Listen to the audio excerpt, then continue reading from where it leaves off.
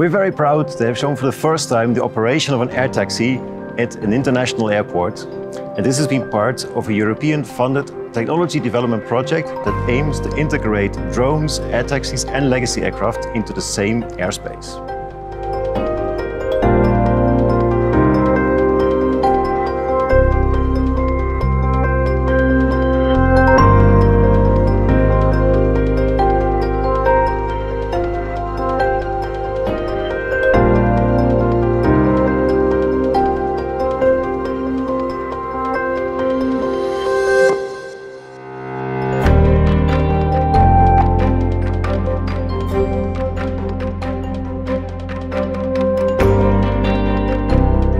It was very special for me to fly the Volocopter today on an international airport.